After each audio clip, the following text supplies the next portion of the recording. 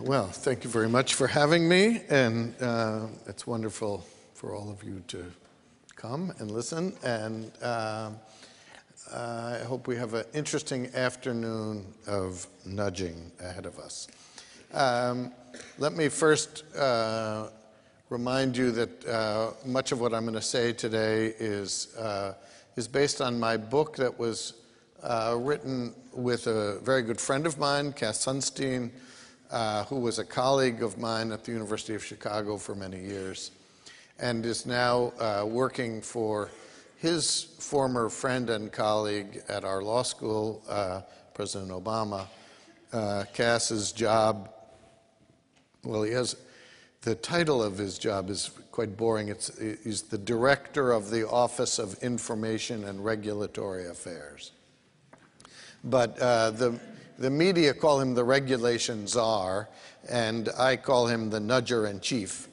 And um, so um, uh, Cass is busy um, implementing these ideas, and uh, he sends me around to uh, spread the gospel. So, uh, and this is a good place for spreading the gospel. So, um, let me start by saying what our goals were in writing this book. And, and we thought of them as uh, we had two ambitious goals. The first, uh, the first ambitious goal was to try and create a framework for thinking about public policy and uh, that employed the ideas of behavioral economics and, uh, and could possibly uh, show how these ideas could be applied to many of the important problems that face the world today. So, this was the merely ambitious goal. The ridiculously ambitious goal was to create a framework that could somehow span the political debates that, at least in America, are becoming increasingly polarized between the left and the right and we tried to create a framework that might be acceptable to both sides. And um, as was mentioned in the introduction, there's some glimmer of hope for that. Um, both Cass and I have worked um, on behalf of the Obama team and campaign, and um, I've now been named as an advisor to David Cameron, who's from the Conservative Party, and the president of South Korea, who's actually uh, quite conservative, has also read the book and assigned it to his cabinet. So we're hoping that maybe this, this hope that we had of spanning the political divide might possibly work. So um,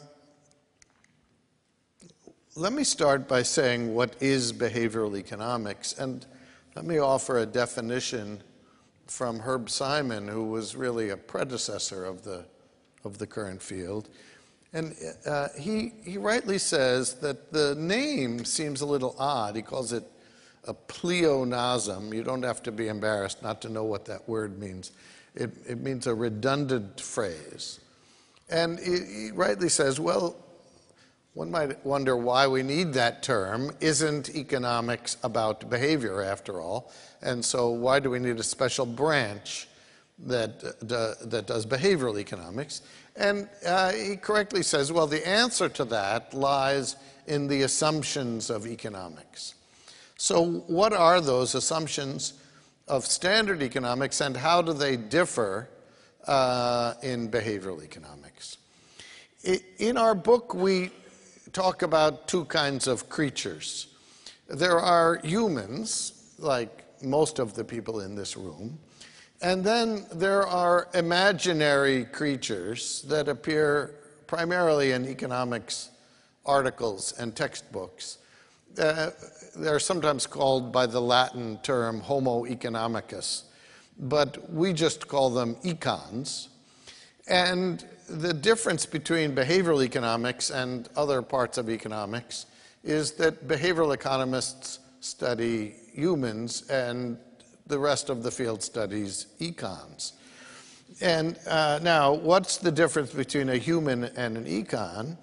Well, humans are boundedly rational, to use Simon's term. What does that mean? It means that, uh, well, again, the contrast is what helps.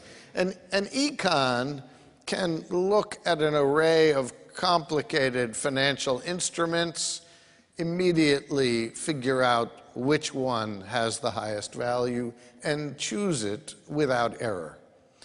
Um, a human has trouble doing long division if he doesn't have a calculator handy. Um, humans also have limited attention spans. Econs are always on target. Sometimes we humans have our minds wander. The second important principle is that humans have self control problems. Econs never do. E econs, uh, econs have never had a hangover, uh, are never overweight, and um, never uh, splurge on a big TV or a pair of shoes that they don't really need. Um, so uh, they're actually not much fun, these econs.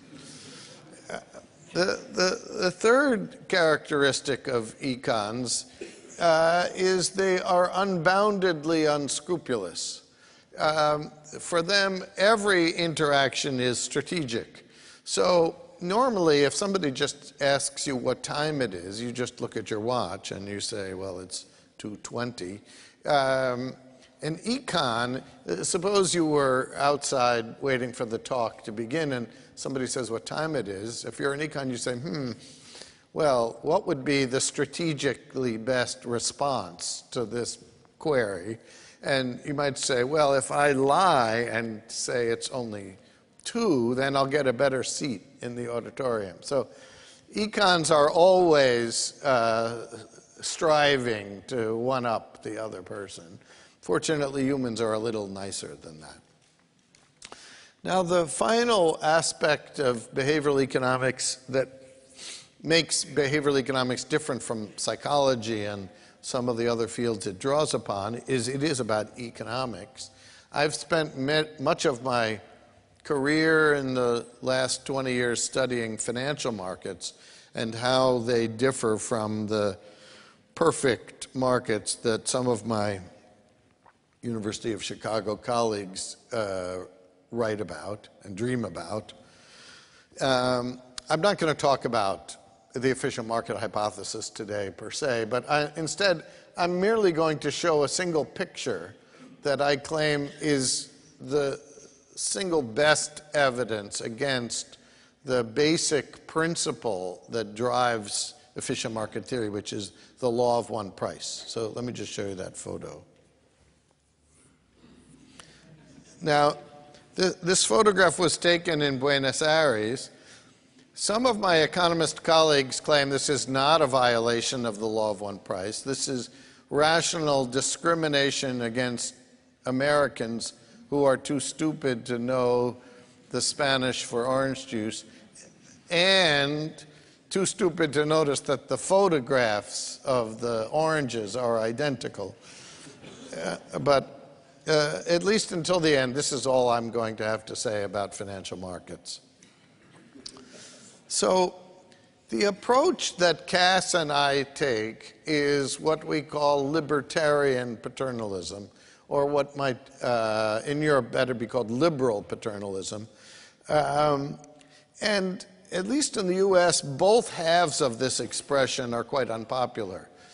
Um, so, why do we combine two unpopular, uh, contradictory terms and write a book about that?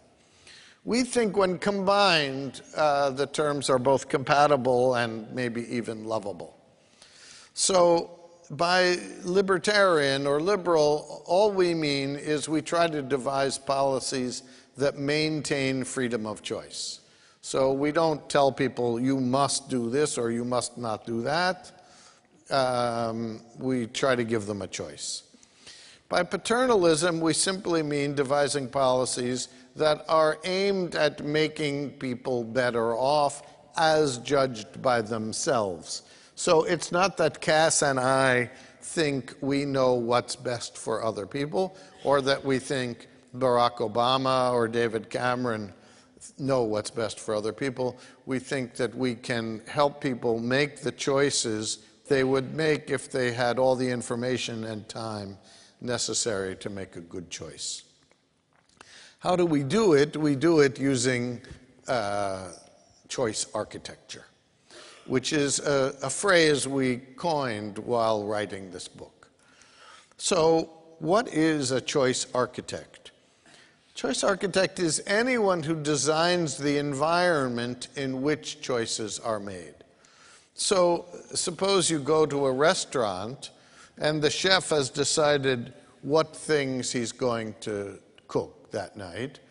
There's someone else whose job it is to produce a menu.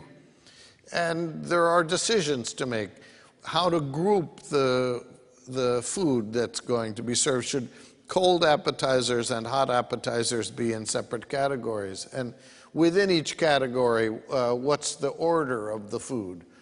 Well, would, one would think that uh, those things wouldn't matter, but psychology tells us that they all matter. So here's the most important point I'm going to make today. You must choose something. Consider the following example that we use to motivate our book. Suppose that the director of school cafeterias for the, the Netherlands um, discovers that the order in which the food is displayed in school cafeterias influences what the kids eat. What use should be made of that information? How, she now knows that. How should she arrange the food? Well, she could try to arrange the food to make the kids healthier or fatter. Or she could fool herself into thinking that she can avoid choice architecture perhaps by arranging the food at random. But of course, that in and of itself would be a choice, and one that would slow the lines down because people would have no idea. Imagine if the bread is in one place and the things to put in the bread are in a completely different place. Um, it, it, could take hours to, to find your lunch. Uh, or you could use the strategy of lining your pockets. So the uh, feature the items for which she gets the largest bribes. The, uh, you can decide which of these you like best. If you like the first one, then you can join the liberal paternalism party with us. Um, you can be the third and fourth members uh, uh after Cass and me.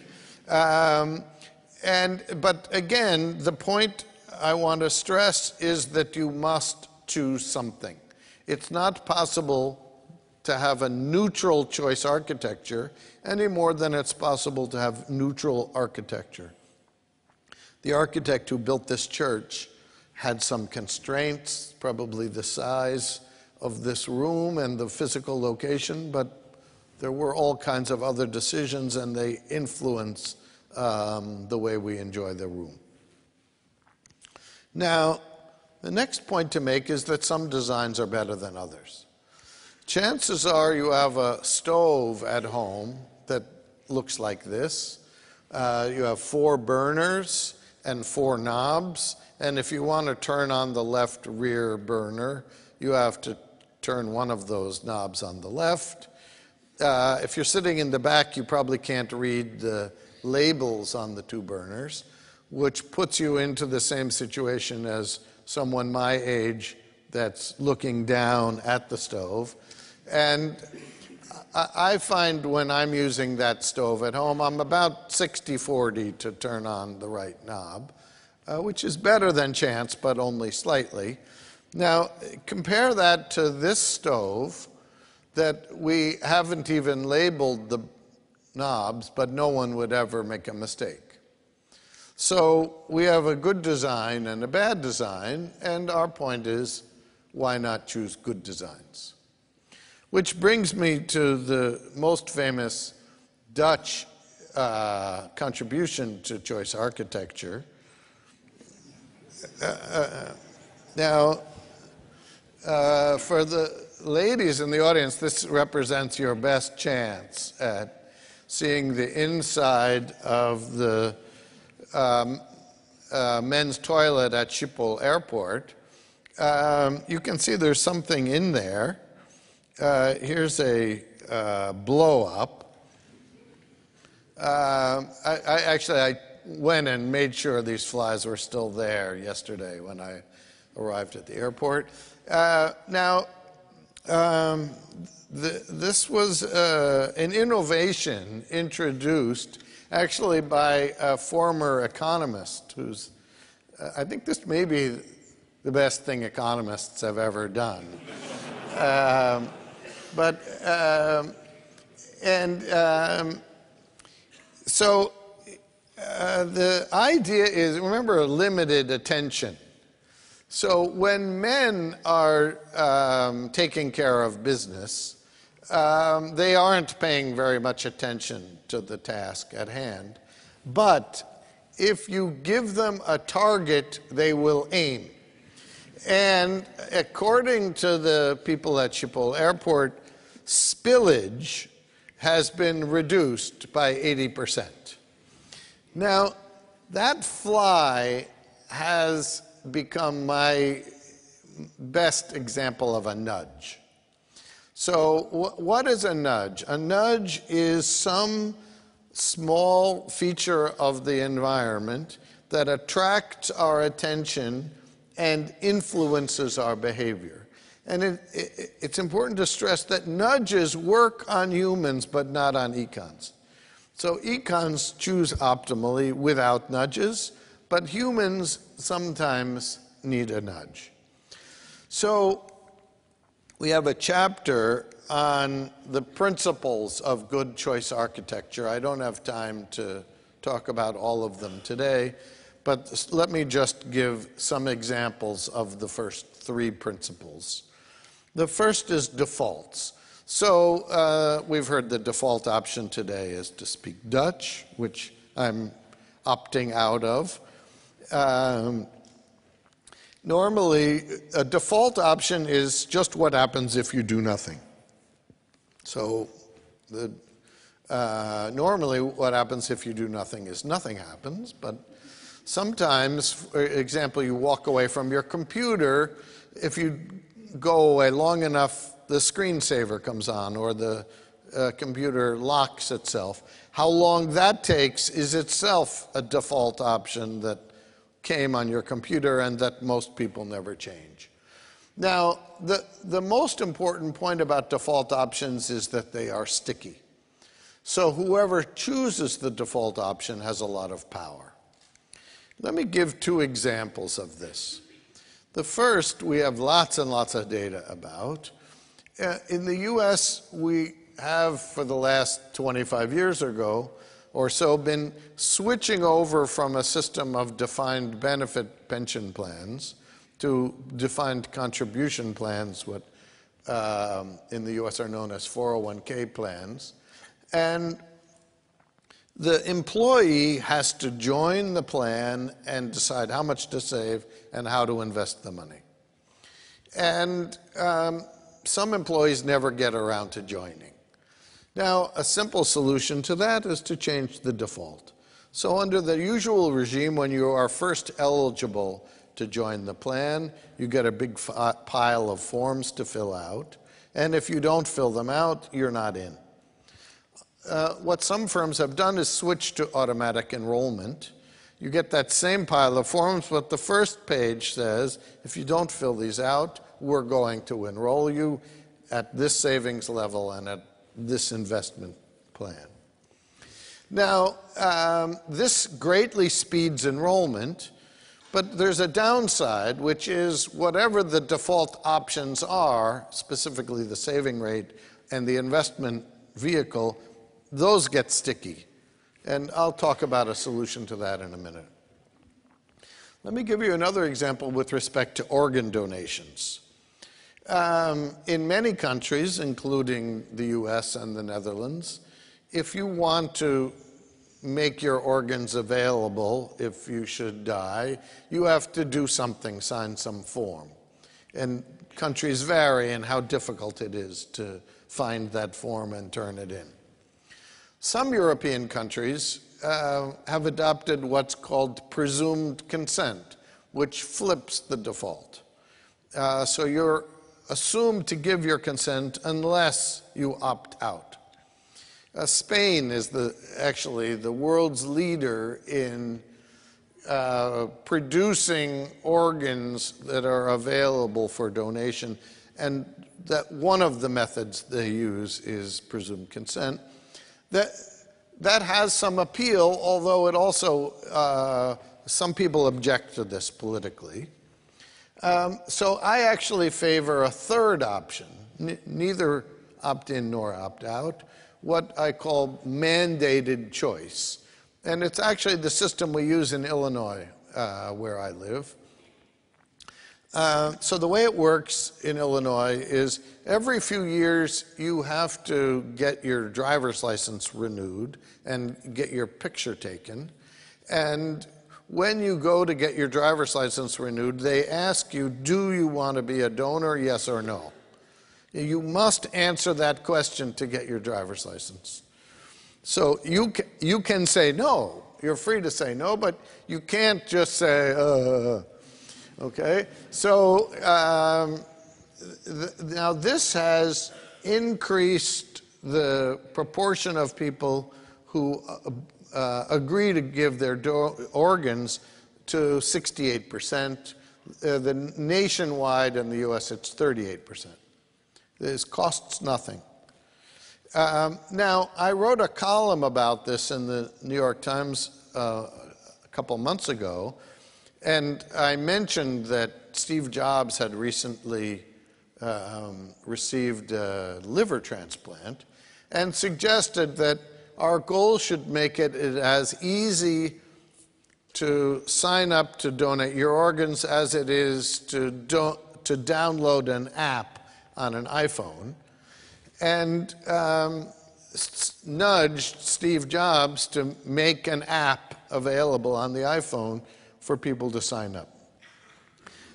Uh, Jobs didn't have to do anything. Two weeks later, I was approached by somebody uh, who said he read the column and was going to do this. And now there is uh, an app for the iPhone that you can click on and sign up in any state in the US. So that's yet another way that we could uh, make progress. Um, second principle give feedback. People can't learn unless they get proper feedback. Um, one example is suppose you're painting the ceiling at home, and ceilings are mostly painted white, so you have white paint and you're painting over white paint. It's very hard to see what, where you've painted. Some genius, maybe the same guy from Schiphol Airport, that uh, created a paint that goes on pink but then turns white. So you never miss a spot. It's because you get feedback. So here's another example of feedback. This is something, this little egg shaped thing, is something called the ambient orb. It can be installed in people's homes, and uh, it normally just looks like this, but if you start using a lot of energy, it starts glowing red. Simply installing these in people's homes decreased energy use in peak periods by 40%. And energy is all about reducing uh, energy use at the peak because that's what determines how many power plants you have to build. So uh, here's another example. This is a study by uh, the great psychologist Bob Cialdini. They went around neighborhoods and they tried to encourage people to use less energy. Um, I think this was in a hot climate. Um, in places like Arizona, they have things called air conditioners. That I think uh, it's a concept that's not well known in Holland, but Um, uh, so they, they, had, they went and they put these door hangers um, and encouraged people either to uh, save money or save the environment or be a good citizen. And the effect of this was zero. But th- then they had a fourth condition where they said, uh, truthfully, your neighbors are using less power, you should too. That reduced energy use by 6%. And there's now uh, a company in the US called Opower that is producing, when you get your uh, utility bill, um, we now get these in uh, my home in Chicago. They tell you how much energy you're using compared to your neighbors. And providing that, not, they don't name your neighbors, so there's no privacy concerns. They just say, Here, here's your utility bill, it's $300. Your neighbor's bill was $200, so the average of your neighbors. Uh, it turns out simply providing that information reduces usage by about 2 to 6%. It costs nothing. So the question is why wouldn't we do things like that? There's a lot of low hanging fruit, that uh, there's a lot of ways that we can alter behavior on climate change that cost nothing. We don't have to invent new kinds of uh, uh, energy sources. Uh, I mean, we should be investing in everything, but behavior change is one of the things we should be investing in. The, the first time I went to Paris, probably 20 years ago, um, and went into the metro, uh, you know, they give you one of these little tickets, uh, and it has a magnetic stripe on one side and some writing on the other side. And I was looking at it, I didn't know which way to put it in the machine. So I'm an experimentalist. I put it in with the magnetic stripe up. That worked. And for the next 20 years, I religiously did it that way. Then my wife and I spent four months living in Paris, and uh, since I was now a native, I was showing some friends around and how to use the metro. I said, now, it's very important when you go on the metro to put the ticket in this way. And my wife starts laughing at me. And I said, what, you know, what are you laughing at? She says, well, actually, it makes no difference which way you put this thing anyway works. And which is the only reason I had gotten it right for 20 years. Now, compare that to the parking garages in downtown Chicago. They work this way you put your credit card in when you come in, and then when you're leaving, you drive up to the exit, you put your credit card back in, it takes some money, and the gate goes up. Now, there's four possible ways of putting the credit card into that machine. Exactly one of those four ways works. And you often find yourself behind some idiot. Um, not that this has ever happened to me, but you, you imagine you put your card in, it, it comes out, you look, the gate is still down. Now, you have no idea what mistake you made right? It could have been the wrong card. It could have gotten demagnetized. You could have put it in the wrong way. You don't actually remember which way you put it in. You put it back in. It could be the same way. And now, this has gotten so bad that if you go to the Chicago Symphony concerts, uh, um, afterwards they have hired people just to stick the cards in the right way, or people would still be in that garage from last month's concert. And so, um, so we need to expect error. Um, one way people err is by not saving enough. Uh, in, in, America, we now trust people to save enough for retirement. Many of them don't. Uh, a colleague and I developed a method to help with this that we call Save More Tomorrow. And it's based, again, on basic psychology. One principle of psychology is we all have more willpower in the future than right now. So many of us in the room are planning to start diets on January 2nd, uh, not tonight.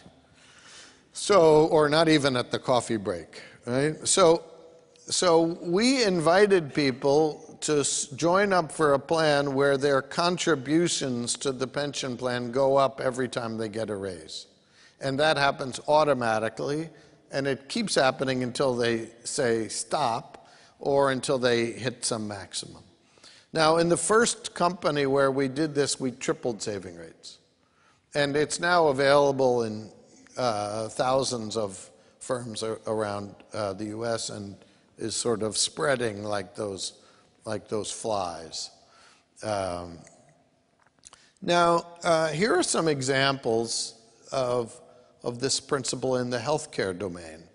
Um, you know, uh, when you go to fill your car up, if you have a diesel car, the nozzle is a different size to prevent you from putting the wrong fuel into your car. Um, it turns out, it used to be that there was a big problem in operations that uh, people would get the wrong anesthesia. There's a machine with lots of hoses, and if you connect the wrong hose to the wrong slot, the patient dies. Um, they solved that problem by making the nozzles incompatible. So it's just not possible to make that uh, mistake. Uh, an, another big problem in healthcare is compliance. There are many diseases where people are, uh, we, where the, we know the medicine, uh, we know the health to treat someone, but they, don't, they just don't do what they're supposed to do. Diabetes is uh, the classic example. Um, but the, it, for all kinds of things, getting people to take their medicine is a problem. Now, um, think about the choice architecture of designing a pill.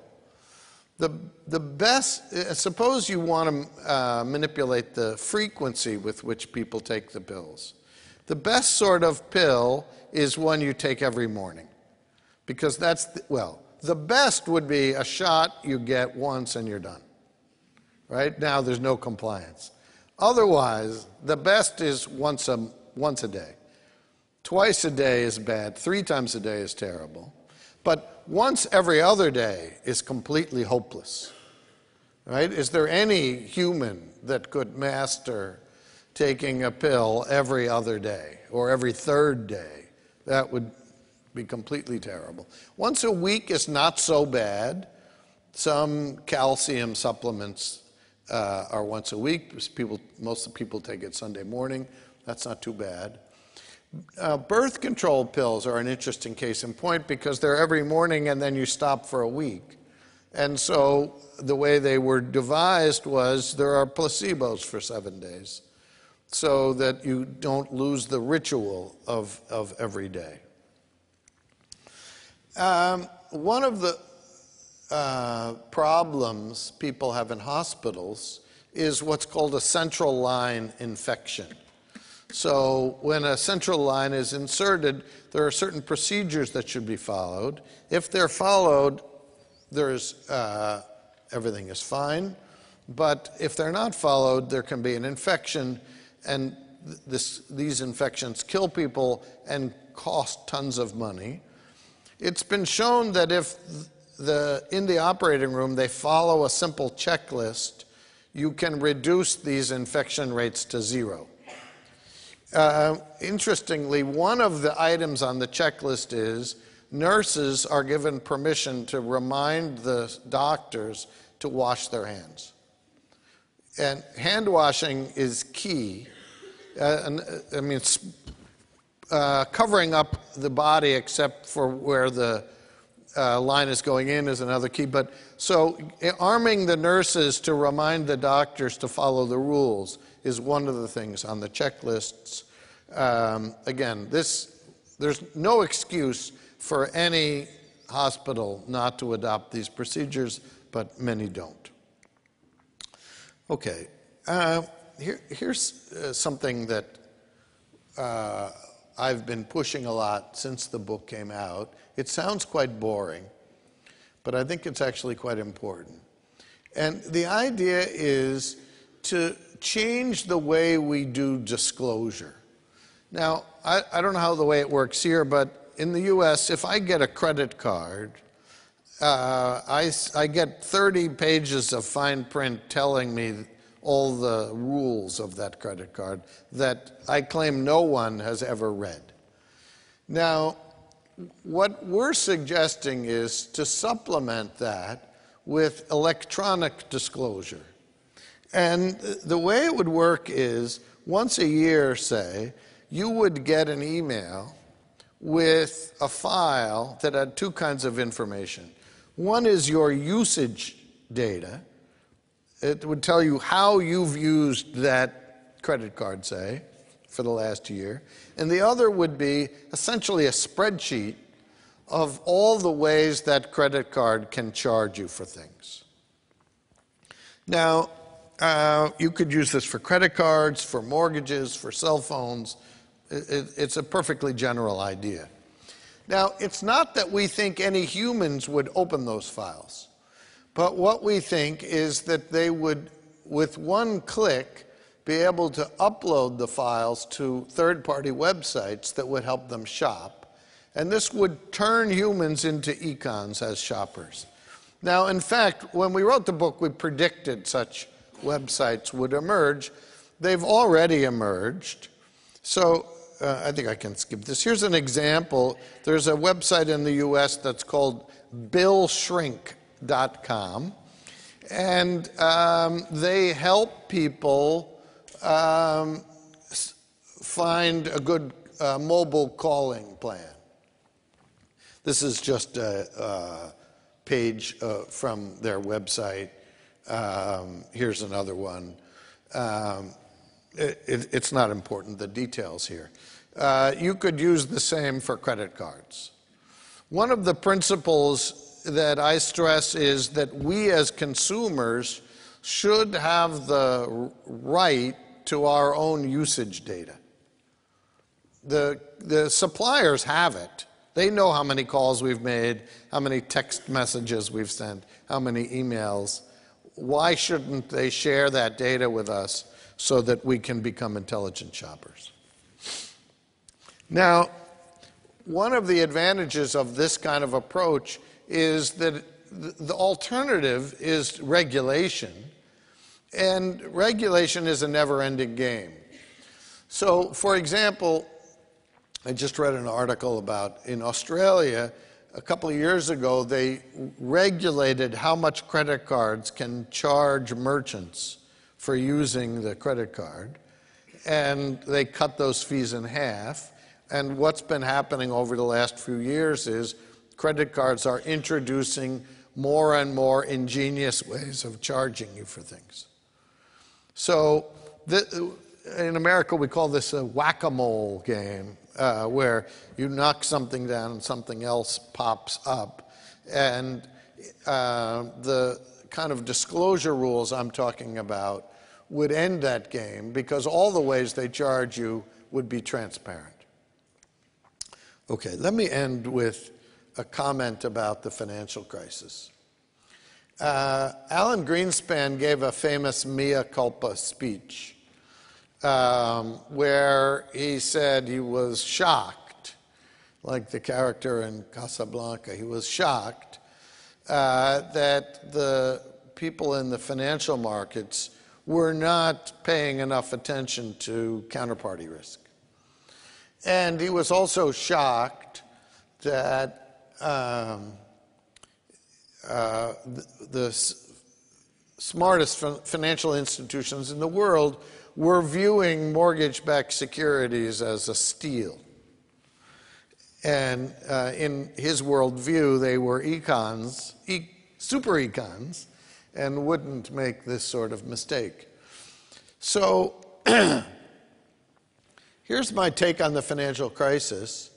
And I, I think two of the mistakes I've been talking about today are important to understanding what, what happened. And one is bounded rationality.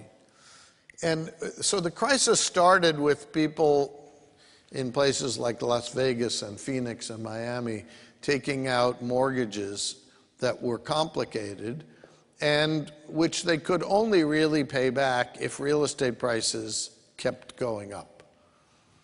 And it's not surprising, really, to anybody um, that some people will not understand a complicated mortgage. So the bounded rationality of the borrowers is not surprising. What's surprising is that this bounded rationality worked all the way, it's all the way up to the CEOs of major financial institutions. And what they didn't understand is what their traders were doing.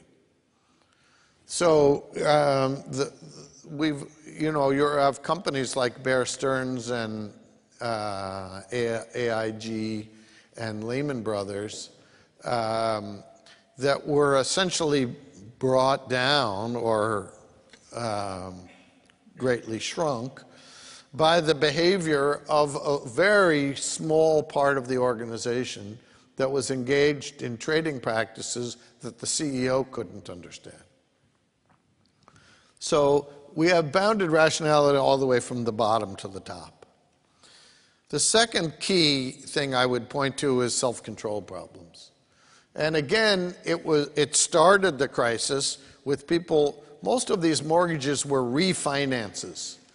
And people would use the low interest rates to get out a new mortgage that, on the increased value of their home in order to build a big addition and put in a big television set or some such.